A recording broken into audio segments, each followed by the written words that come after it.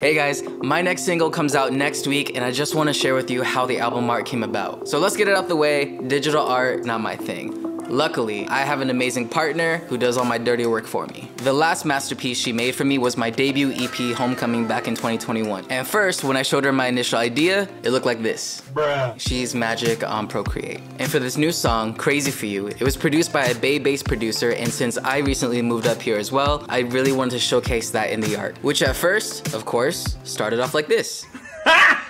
So Hannah and I, but mostly her, went to work. We started off with stock images and bad sketches to get a sense of the placement and just ended up tracing it and adding our own flavor. I definitely wanted the iconic trolley because it's a SF staple, as well as the Golden Gate Bridge and some city lights in the back. Once the sky was down, next up was a trolley, which we both worked on and I think it came out amazing. Next was Lombard in the back, which I asked her to redo because it looked too much like a bad corn dog with mustard. After that, I sat on my table and took a pic so she could trace it, shout out the shark slippies, but you know we had to add on my favorite shoes after. Next up, we needed to add Dame. I took this pic of him on the set of the Permission music video, and we gave him a little Bape jacket upgrade. I remade Enkidu's logo and slapped that bad boy on the front. I played with a few font options and effects, and voila, we got another masterpiece.